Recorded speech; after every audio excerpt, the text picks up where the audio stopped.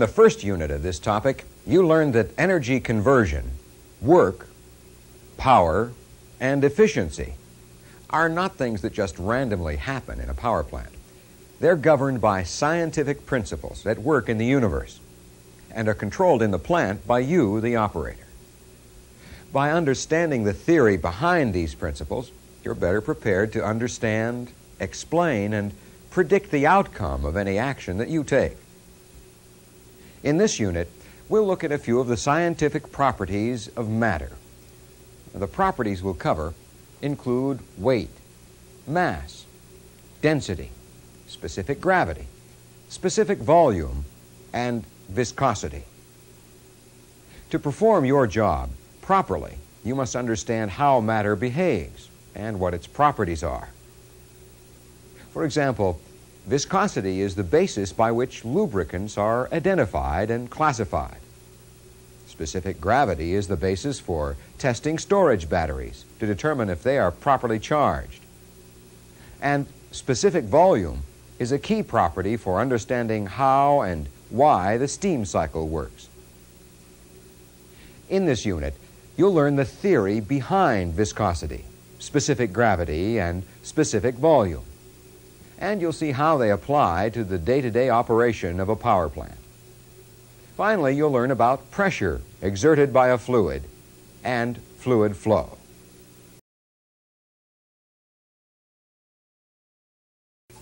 To understand properties of matter, we must learn what mass and weight are. And we must understand the relationship between the two. Mass has two characteristics. First, the mass of an object is the amount of matter contained within the object. Second, the mass of an object determines how fast an object will accelerate when a specific force is applied to it. Mass is difficult to measure directly. Weight, though, is simple to measure. It's the result of the gravitational forces acting on mass and can be measured on a scale. Now, weighing an object is a convenient way of measuring mass, but as you'll see, it does have its limitations. Now, these astronauts exhibit the properties of mass and weight. While on the surface of the Earth, each astronaut has a definite mass and a definite weight, which can be easily measured. When the astronauts go from the Earth to the surface of the Moon, mass, because it's a physical property, remains constant. However, weight becomes less because the gravitational force of the Moon is less than the gravitational force of the Earth. This has to do with the fact that weight must be opposed in order to be measured. For example, on the Moon, the Moon itself opposes the force of gravity. However, when an astronaut moves out into space, there's nothing to oppose gravity, and his weight is zero. His weightlessness allows him to float freely in space.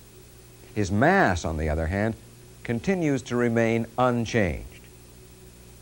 Variations in weight result from changes in the gravitational forces acting on an object. Since the gravitational force at the surface of the Earth is constant, the weight of an object doesn't change as long as it remains on the surface of the Earth. Well, that makes it easy to convert between mass and weight. One pound of mass and one pound of weight on the surface of the Earth have the same meaning for all practical purposes. To simplify things throughout the rest of this unit, we'll use weight in our calculations. Another thing we want to consider is what causes objects or fluids to move. That is, unbalanced forces. Take, for example, this coal car. While the coal is in the car, the bottom of the car pushes up with a force equal to the coal pushing down. The forces are balanced. As long as the bottom is strong enough to support the coal, it will remain in the car. When the coal car is turned, there isn't anything to counteract the downward force of gravity acting on the coal, and the coal falls out of the car we can say, as a general rule, that an object which moves does so because imbalanced forces act on it. Okay, you now know that there is a difference between mass and weight. But for our purposes, the difference isn't critical, and we'll use weight throughout this unit. You also know that objects move when forces are unbalanced and remain stationary when forces are balanced. And you've seen an application of the physical property of weight in the coal yard. We'll stop here so that you can read the material in the text and answer the questions. When we come back, we'll look at density and specific gravity. Weight, as you know, is the measurement of the gravitational force of the Earth acting on mass.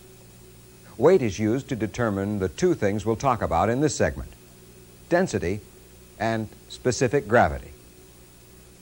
Density is a comparison between the weight of a material and its volume, while specific gravity is a comparison between the density of water and the density of some other material. When we talk about the density of a material, we're talking about its weight per unit volume. Density is symbolized by the Greek letter rho. The equation used to determine density is rho is equal to weight divided by volume. Density can be measured using a number of units, the most common of which are pounds per cubic foot and pounds per gallon. There are conversion factors that can be used to convert between the different units. You should know these conversion factors because we'll be using them later on. One gallon is equal to 0.134 cubic feet, and one cubic foot is equal to 7.5 gallons. Well, now let's determine the density of this solid object, labeled Block A. The first step is to weigh the object, and we can do this using this scale. It's marked off in tenths of a pound. Now, according to our scale, the weight of the object is 0.7 pounds. Well, now we have to calculate volume. As you know, the volume of an object is equal to its length times its width times its height. Now we can measure the dimensions using a ruler. It's 8 inches long,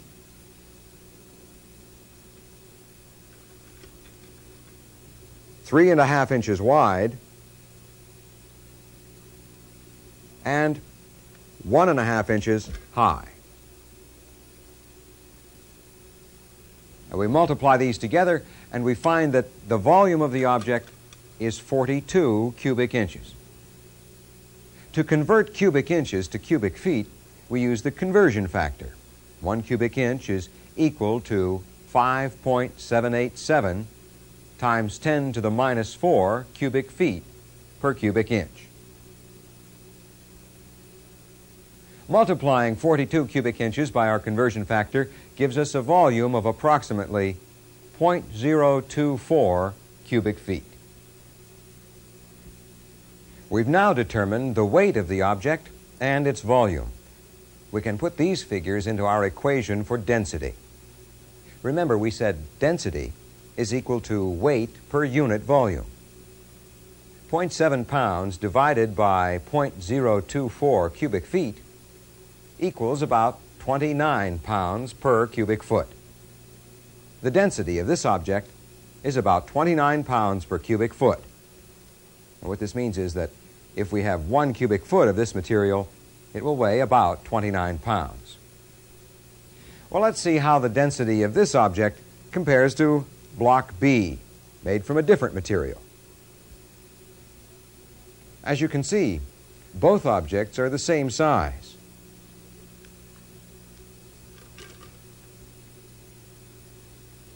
But this one weighs less, only 0.1 pound.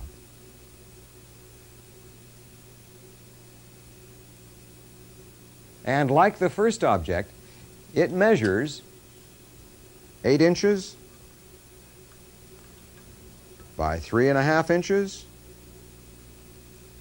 by 1.5 inches.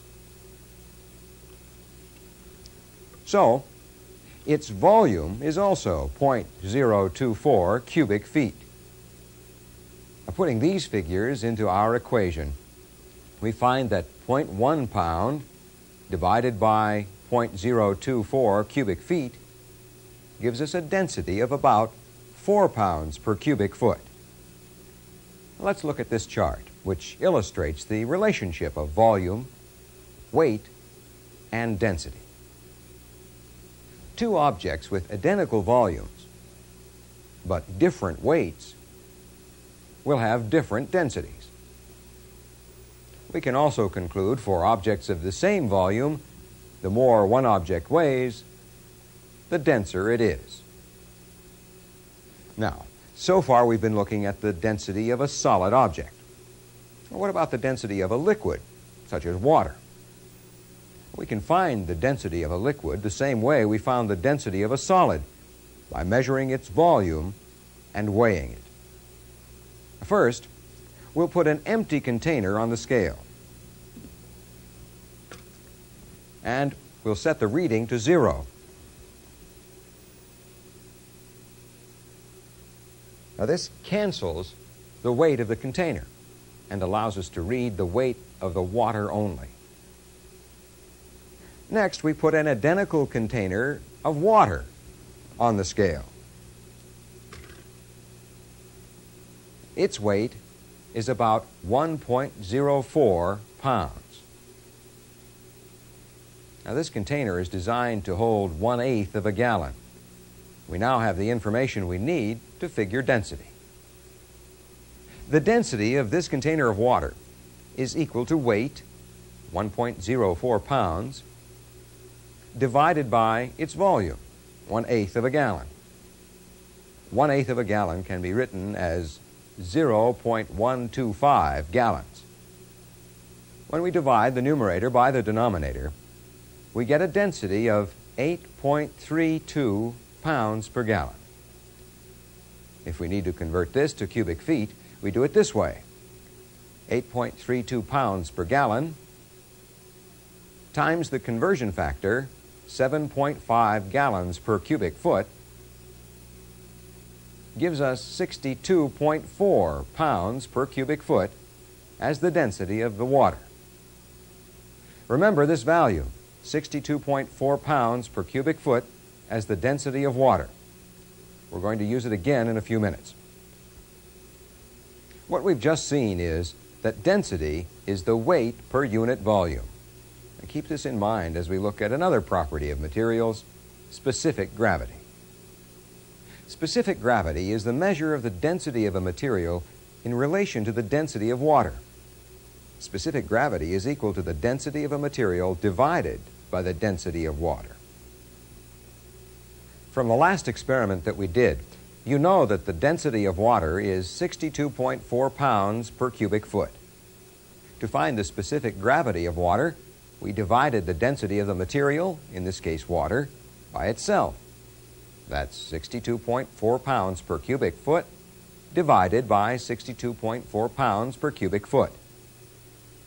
The units cancel, and we're left with 62.4 divided by 62.4, which is equal to 1. Now, this makes sense if you consider that we're comparing water to itself. So, the specific gravity of water is 1. Now, notice that there are no units for specific gravity. 1 is used as a reference. Specific gravity tells us if a material is more or less dense than water.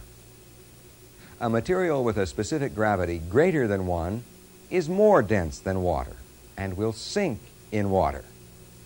A material with a specific gravity less than 1 is not as dense as water and will float in water. Let's go into a lab where we can illustrate this point with these two different lubricants used in a plant. In most cases, lubricants are less dense than water and will float. But this isn't always the case. Watch what happens when we pour each lubricant into a container of water. The first lubricant sinks to the bottom, while the second lubricant floats on the surface of the water. Without doing any calculations, we immediately know that the first lubricant has a specific gravity greater than 1, and the second lubricant has a specific gravity less than 1. In a plant, the specific gravity of liquids can be measured using a hydrometer. You'll use a hydrometer when testing the charge on a storage battery. In the next segment, we'll show you how the principle of specific gravity is used to test storage batteries. Then we'll go on to look at specific volume and viscosity. For now, though, read over the material in your text and answer the questions. If you have any questions about the material, ask your instructor to help you. In the last segment, you learned that specific gravity is the measurement of the density of a material in relation to the density of water. You also learned that the specific gravity of water is equal to 1. In this segment, we'll apply what you've learned about specific gravity to an important job, testing the charge on plant storage batteries. Later on in this segment, we'll cover two other properties of materials, specific volume and viscosity. A typical storage battery, which supplies emergency DC power to a plant, is composed of a number of individual cells that are connected together in series. Each cell is made up of a positive and a negative plate, insulated from each other by separators. The cells are immersed in a solution called electrolyte, a mixture of sulfuric acid and water. An acid-resistant jar encases the entire assembly. The specific gravity of the electrolyte is a function of the amount of acid in the water and is a good indication of the charge on the battery. The specific gravity of the electrolyte is affected by temperature. So, as we'll see, specific gravity readings must be corrected for temperature. Most storage batteries, when fully charged, have electrolyte at a specific gravity between 1.2 and 1.3. On the job, specific gravity is measured using a hydrometer. A hydrometer is basically a syringe, a glass barrel with a rubber bulb on one end. Inside the glass barrel is a float. A hydrometer is usually accurate to three decimal places, so a typical reading might be 1.286. Since this many decimal points can be awkward to work with, it's customary to multiply the specific gravity by a thousand, so that 1.286 becomes 1,286.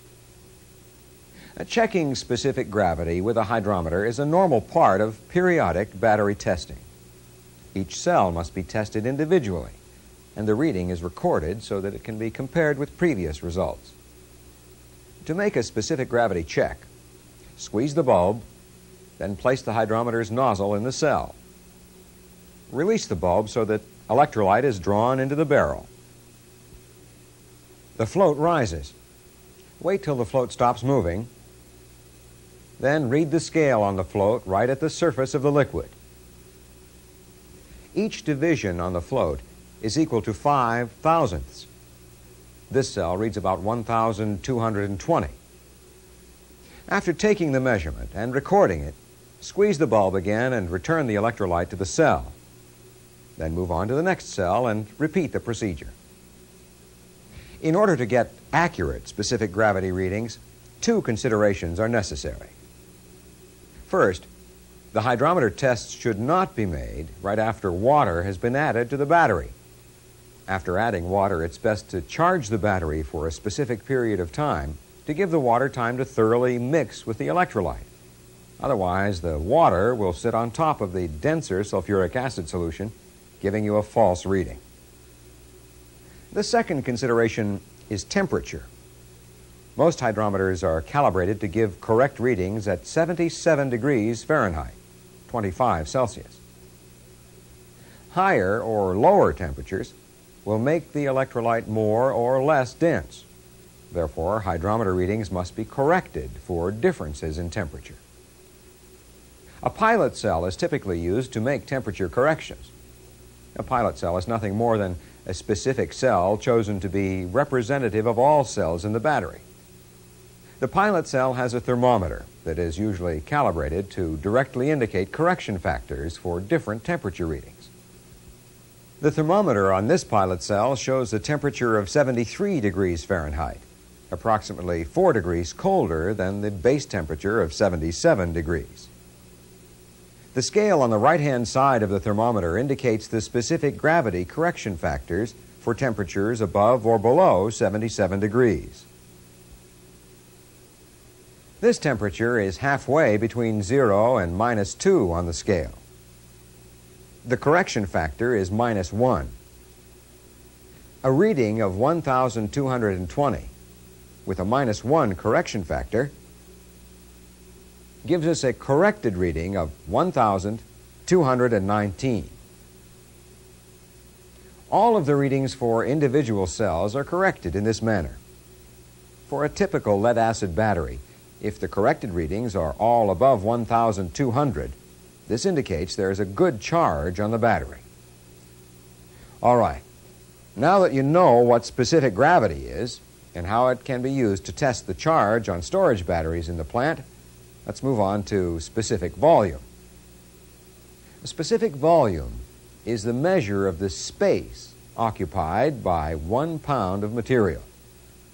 Basically, this means that Specific volume is the inverse of density. Mathematically, specific volume is 1 divided by density. You'll recall that the units of measure for density are pounds per cubic foot or pounds per gallon. The units of measure for specific volume are typically cubic feet per pound or occasionally gallons per pound. To calculate the specific volume of material, you can use the equation specific volume is equal to volume divided by weight. Or you can simply figure it out as 1 over the density. Now, in the last segment, we calculated the volume of this block and found that it has a volume of 0.024 cubic feet. If we divide its volume by its weight, which is 0.7 pounds, we get its specific volume in cubic feet per pound. Doing the math, we find that the specific volume of this material is 0.034 cubic feet per pound. Now, we can also calculate specific volume by taking the inverse of density. Let's do this for water. You know that the density of water is 62.4 pounds per cubic foot. Dividing this through, you get the specific volume of water equal to 0.016 cubic feet per pound. Specific gravity and density are very similar, but each has its own particular application. In later units, you'll need to understand specific volume in order to calculate the properties of steam and water as they relate to the plant cycle. For now, though, let's go on to look at viscosity. Viscosity, which is the measure of a fluid's internal resistance to flow, is most often associated with lubricants. In the lab, we can easily demonstrate the property of viscosity by comparing two different lubricants as they're poured. The lubricant on the right has a low viscosity. It is thin and flows quickly from the beaker. However, the lubricant on the left is thicker and flows much slower it has a higher viscosity. Therefore, we can say it has a greater internal resistance to flow than the lubricant on the right. This is evident by the additional length of time it takes for the lubricant to flow from the beaker. Another factor that has a great effect on viscosity is temperature. To illustrate this point, we'll perform another experiment using two samples of the same lubricant. One sample has been carefully heated, while the other sample remained at room temperature. As you can see, when the lubricants are poured, the sample on the left, which has been heated, flows more rapidly from the beaker. Its viscosity has been lowered by increasing its temperature. However, the same lubricant at room temperature has a higher viscosity. It is thicker and flows from the beaker at a slower rate. As a rule, Higher temperatures cause viscosity to decrease, while lower temperatures increase viscosity. A special instrument called a Saybolt viscometer can be used to measure viscosity. Even though you might never use one, we'll show you how it works so you'll have a better idea of what viscosity means. A typical Saybolt viscometer has an upper section with several chambers housed in an oil bath. The oil bath maintains the fluid in the chambers at a constant temperature. The lower section contains a flask for collecting the oil drained from an upper chamber. To use the viscometer, an oil sample is first poured into one of the upper chambers. Then there's a waiting period for the sample to reach the same temperature as the oil bath. Next, a plug is removed from the upper chamber with the oil, allowing it to flow into the flask. A stopwatch is started the moment the oil is released from the chamber. The number of seconds it takes for the fluid to fill the flask to the mark on the neck is the viscosity of the fluid measured in Saybolt seconds universal, or SSUs for short. As you can see, the viscosity of this lubricant is 35.77 SSUs. Now, viscosity is an extremely important consideration when choosing lubricants. For a lubricant to work, it must be thin enough to flow between moving parts, but not so thin that it will be squeezed out from between them. If a lubricant with too low or too high a viscosity is used, a film of lubricant will not form between the moving parts, and the bearings and lubricated parts of the equipment will be damaged. Most plants have a system for helping you identify which lubricant goes with which piece of equipment. You'll have to find out how the system in your plant works. One typical system uses color. Each piece of equipment is color-coded so that the equipment has the same color as the pump on the lubricant drum. To select a lubricant, you find the pump that matches the color code on the equipment. You can then draw the lubricant that you need. Okay, now you've seen how specific gravity can be measured and used to test storage batteries in the plant. You've learned how to calculate the specific volume of a substance and how viscosity is measured. In the next segment, we'll consider pressure. For now, read the material in your text and answer the questions. Remember, if you have trouble following any of this material, ask your instructor to help you.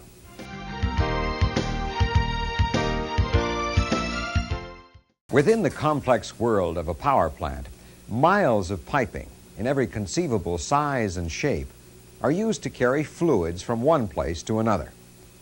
Hundreds of gauges and thousands of feet of tubing are used to indicate the condition that the plant is in at any time during the day or night.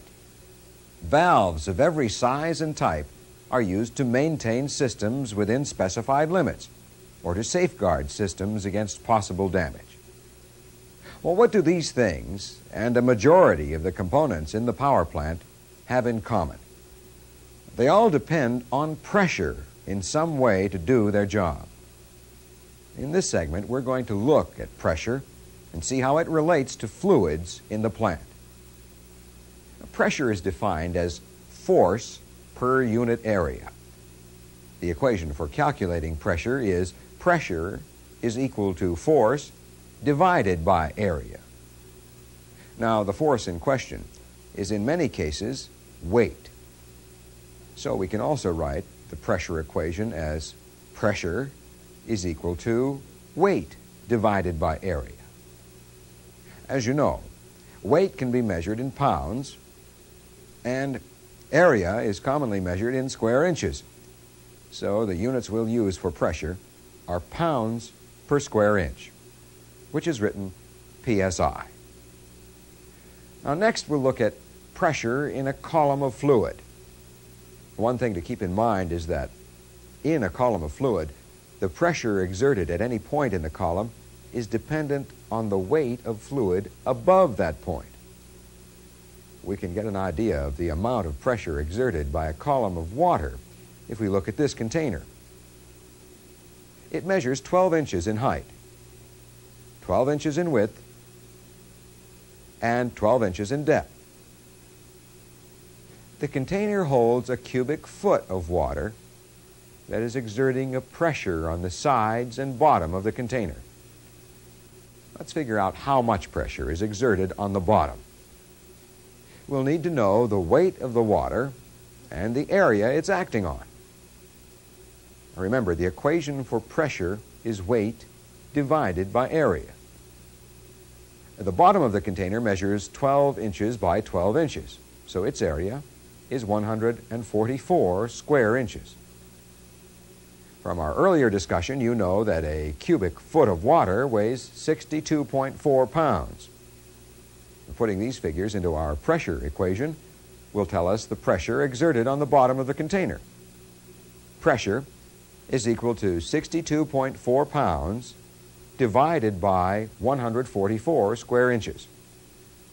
The pressure exerted on the bottom of the container is 0.433 pounds per square inch. From this, we can conclude that a one-foot column of water exerts a pressure of 0.433 pounds per square inch. Well, let's compare this with a container that's 24 inches wide, but still 12 inches high and 12 inches deep. Now, this container holds two cubic feet, and its bottom has an area of 288 square inches. The weight of two cubic feet of water is equal to 2 times 62.4 pounds, or 124.8 pounds.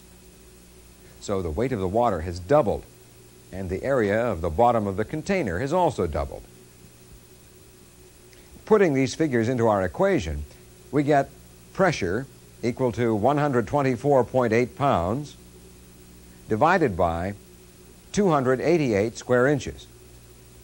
Doing the math, we see that the pressure exerted on the bottom of the container is still 0.433 pounds per square inch. Now, there must be a reason for two different sized containers having the same amount of pressure exerted on the bottom. Well, what do the containers have in common? The height of the column of water in both is the same, 12 inches. We've seen what happens when the area changes from one square foot to two square feet, but the height of the water remains the same. The pressure also remains the same. So we can conclude that regardless of the area, the pressure exerted by a column of water is determined by its height above the point being measured. Well, let's see if this conclusion holds true. We'll turn the second container up on its end so that it now looks like this. The area of the bottom is now 144 square inches, and there is a 24-inch column of water exerting a pressure on the bottom. The weight of the water hasn't changed. It's still 124.8 pounds, but the area is now 144 square inches. If our conclusions are correct, the pressure exerted on the bottom should be double what we had in the last example. Well, let's see. Pressure is equal to 124.8 pounds divided by 144 square inches. Now this works out to be 0.866 pounds per square inch, just double of what we got in the last example. We can conclude that doubling the height of water in a column will double the pressure exerted on the bottom of the column. All right. What have we learned about pressure so far? Well, pressure is the force acting on a unit area. We also know that pressure exerted by the water in the container is not determined by the size or volume of the container, but rather by the height of water in the container. Let's look at one more example and compare the pressure exerted by water to the pressure exerted by another fluid. Now this container, which we used earlier, is filled with one cubic foot of mercury that weighs 848.64 pounds. The area of the bottom of the container is 144 square inches. Let's put these figures into our equation and calculate the pressure exerted by the mercury on the bottom of the container. Pressure is equal to weight divided by area. So, our equation reads Pressure is equal to 848.64 pounds divided by 144 square inches. This equals 5.89 pounds per square inch. Now the container in this example is the same size as one that we used earlier to calculate the pressure exerted by water. But the pressure exerted by mercury is greater than the pressure exerted by water. Why? Because mercury is denser than water. Density affects the pressure exerted by a fluid. Now, regardless of the size of the container, pressure will be determined by the height of fluid above the surface where the measurements are being taken and the density of the fluid being measured. This can be expressed mathematically. Pressure of any column of liquid is equal to the height of the column times the density of the material. Remember this equation because we'll see it again in the next segment. For now, take some time to review this material in the text and answer the questions. If you have any trouble understanding this material on pressure, ask your instructor to help you. When we return, we'll begin talking about pressure and the flow of fluids. You know that the pressure exerted by the fluid in this tank is determined by the density of the fluid and the height of the fluid above the point where the pressure measurement is taken. Now, if all we do is store fluid in a tank, we don't have to be too concerned about pressure or fluid flow. But you probably already know that not only do we store fluid, but we also have to move the fluid around. To know how this is done, we have to understand the principles behind fluid flow and how they're related to pressure. And that's what we'll look at in this segment. Flow is caused by a pressure differential. As long as pressure across a fluid is equal, no flow occurs. However, when there's a difference in pressure, fluids flow. Now, flow is always from an area of higher pressure to an area of lower pressure. A pressure differential can be exerted on fluids in a number of ways, one of the most common being a pump. Another way of creating a difference in pressure between two fluids is to raise the level of one fluid above the other. Let's see how this works using these two 30-foot tanks. Tank A is filled with 30 feet of water, and Tank B is filled with 5 feet of water.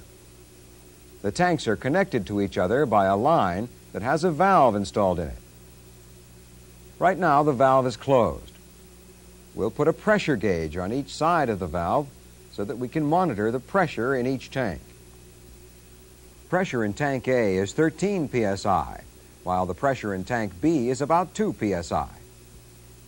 That is about an 11 psi difference in pressure between the two tanks. This means that there should be flow between the two tanks because there is a pressure differential. But because the valve in the line is closed, there is no flow. Let's watch what happens when we open the valve. As the valve is opened, water flows from tank A, where the pressure is higher, to tank B, where the pressure is lower. When the levels, and therefore the pressure in the tanks, become equal, there is no longer a differential pressure, and flow stops. Notice that the gauges on each side of the valve are reading the same. The pressure is now equal in both tanks. Tanks are commonly used to create a suction head for pumps. Head is simply a term used to describe the height of a fluid. If a tank is connected to the suction of a pump, the height of fluid above the suction is the suction head, and it determines the amount of pressure at the suction of the pump. Most pumps require a certain amount of suction head in order to operate properly. The amount of head required is usually expressed in feet.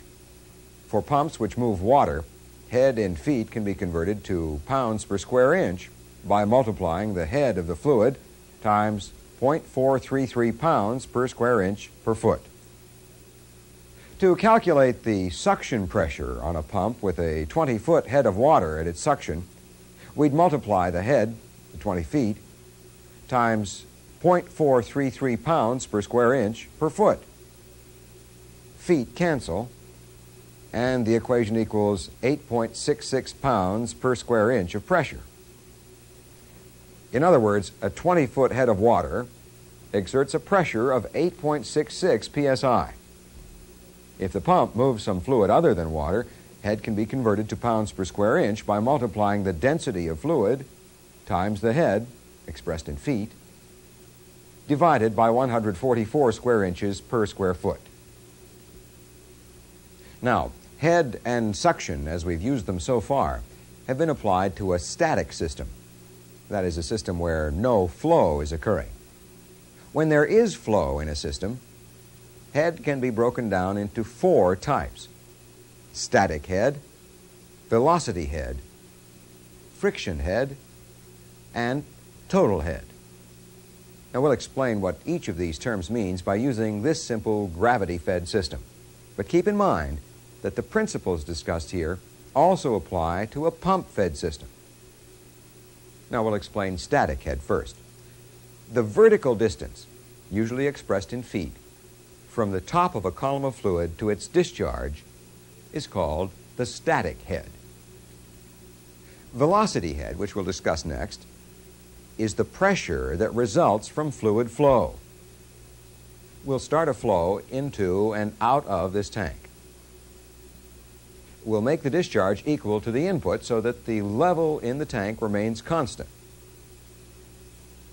The distance that a fluid rises when discharged vertically from the tank is called the velocity head.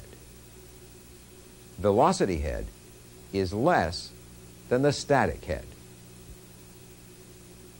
The difference between the static head and the velocity head is caused by friction.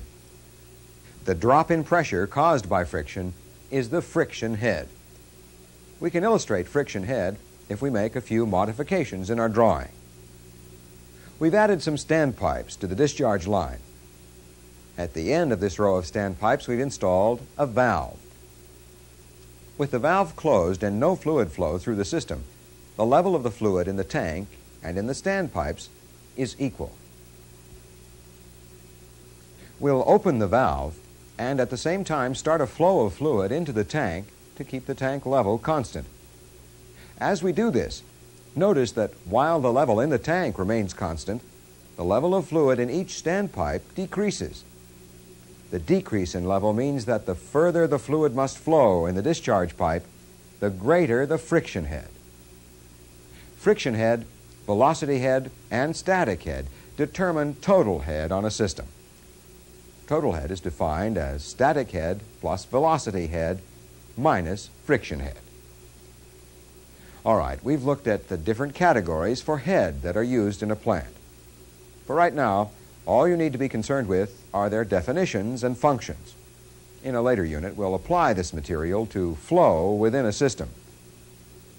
Up to this point, we've only considered the pressure exerted in an open tank by a column of fluid. This pressure is exerted in the downward direction and is greater at the bottom of the column than the top.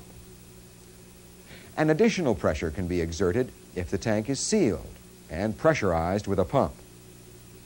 In this case, the additional pressure will be applied equally over every square inch of the tank. This means that the pressure in the tank will be the pressure from the pump plus the pressure exerted by the column of fluid inside the tank. Applying pressure with a pump to a sealed system is called hydrostatic testing and is often done to test systems after maintenance has been done on them you'll find hydrostatic testing being done to boilers in order to test repairs that have been made on the boiler tubes.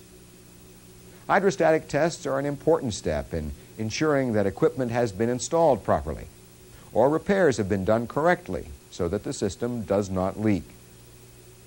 During hydrostatic testing, it is very important that the pressure being applied to the system does not exceed the manufacturer's specifications for the maximum allowable pressure on the system. Exceeding this pressure could cause the system to rupture. In this segment, you've looked at the principles behind fluid flow. You found out that fluids flow when there is a differential pressure, and that flow is from an area of higher pressure to an area of lower pressure. You've seen the different types of head in a system where flow is occurring. And finally, you've learned what hydrostatic testing is. Well, take some time to review this material in your text and answer the questions. In the next segment, we'll discuss flow rate.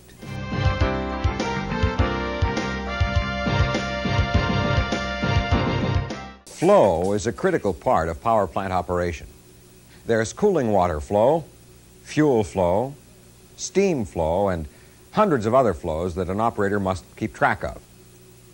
As you can see, an operator really can't get by without having some understanding of what flow is.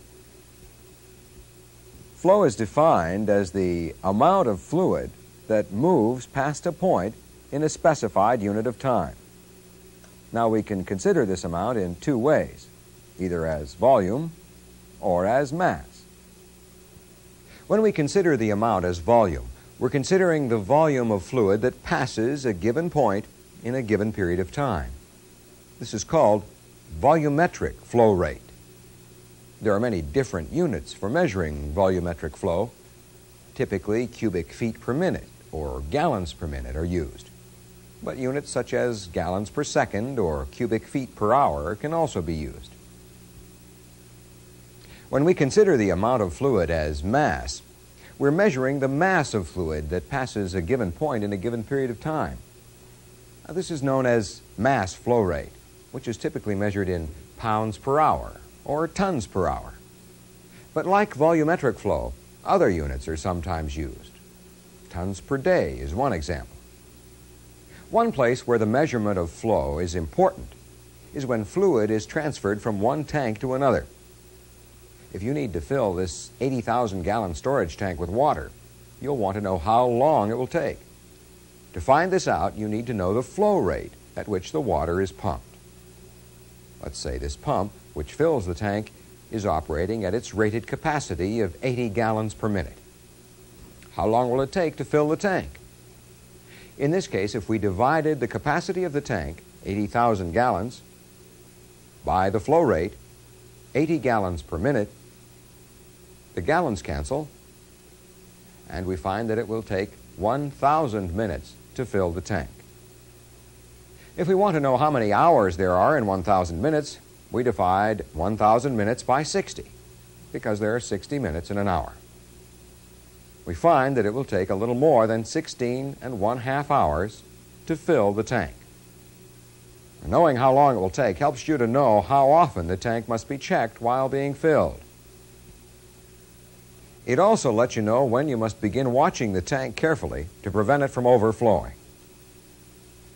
Understanding flow and flow rate helps you determine how much fluid has been pumped. Well, let's say that you've been transferring oil to this tank for 2.5 hours at a rate of 9 gallons per minute. How much fluid has been transferred? To find the amount of oil that has been pumped, we multiply flow rate by the hours we've been pumping.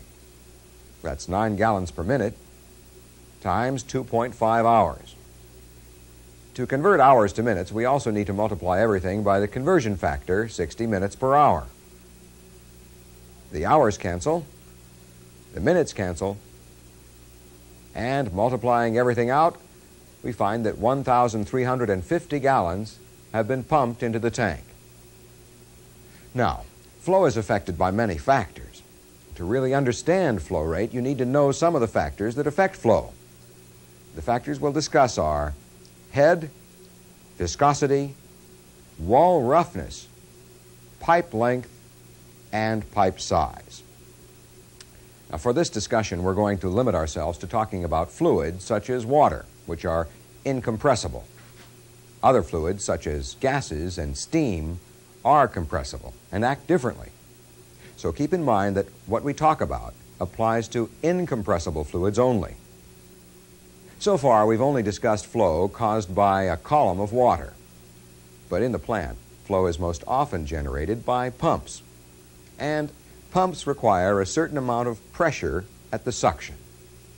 Now, this pressure, called the suction head, can be provided by a tank. When suction head increases, flow also increases. This tells us that head has a positive effect on the flow rate of fluids. But at all times, a minimum amount of suction head must be available at the pump suction. If suction head decreases below the minimum value, problems occur and the pump may be damaged.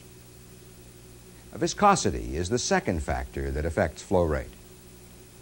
Remember, we define viscosity as a fluid's internal resistance to flow. When viscosity increases, flow decreases. So we can say that viscosity has a negative effect on flow. Now, the negative effect of viscosity is apparent if we consider two identical pumps one that pumps thick oil and the other that pumps water, which is much thinner by comparison. If all other factors are equal, the flow rate for water will be much higher because the water has less internal resistance to flow. To overcome this problem, when pumping some types of oil, it's sometimes necessary to heat the oil in order to lower its viscosity. The third factor that affects flow is wall roughness in a pipe. The rougher the wall of a pipe, the greater its resistance to the flow of fluids. By contrast, the smoother a pipe wall is, the less resistance it offers to flow. Corrosion of the inside of a pipe can increase wall roughness, resulting in a decrease in flow. The fourth factor we'll discuss, pipe length, is affected by friction in the pipe. The longer the pipe, the greater the friction, and consequently, the greater the resistance to flow. The final factor we'll look at is pipe size. In general, increasing the size of the pipe through which fluid flows will increase the flow rate. However, flow through a pipe is very complicated because of the many things which affect flow. We'll simplify our discussion by only considering those aspects of the flow that you'll be able to see in your job. In a long run of pipe such as this, the velocity of the fluid, which in this case is water, remains the same throughout the pipe. The reason for this is simply that since the fluid is incompressible, what's going in one end at a given rate has to be coming out the other at the same rate. While velocity remains the same over the entire length of pipe, pressure, symbolized by the letter P, drops. This is always true because flow couldn't occur without differential pressure. Now, let's compare velocity and pressure in two different sized pipes. We'll connect the pipes to two identical pumps and establish the same total flow through each pipe.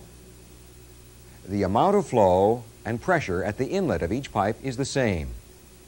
But flow velocity, symbolized by the letter V, is less in the larger pipe than the smaller pipe. Now, this makes sense if you consider that since there is less space inside the smaller pipe, the water must move faster in order to have the same flow rate as the larger pipe. Well, now we know that pressure at the outlet of each pipe will be lower than the inlet pressure. And the question is, will the outlet pressure in both pipes be the same? It turns out that the outlet pressure will be lower in the smaller pipe than in the larger pipe. The reason for this is that the conversion of fluid velocity to pressure is not the same in two different size pipes. In the smaller pipe, there's more fluid velocity and less pressure. In the larger pipe, there's less velocity and more pressure. We can conclude from this that if we go from one pipe size to a smaller pipe size in a system, velocity and pressure will change. In this segment, you've seen several examples of why an understanding of flow rate is important to you as an operator. You've also learned some of the factors that affect flow and the characteristics of flow through a pipe. Throughout this unit on properties of material and fluid flow, we've shown you certain properties of material and how they affect the day-to-day -day operation of a plant. And we've related some of these properties to one aspect of plant operation, fluid flow. You've learned what it is and how it's affected. Take some time to review the material in your text and answer the questions. If you have any trouble understanding any of the information in this unit, ask your instructor to help you.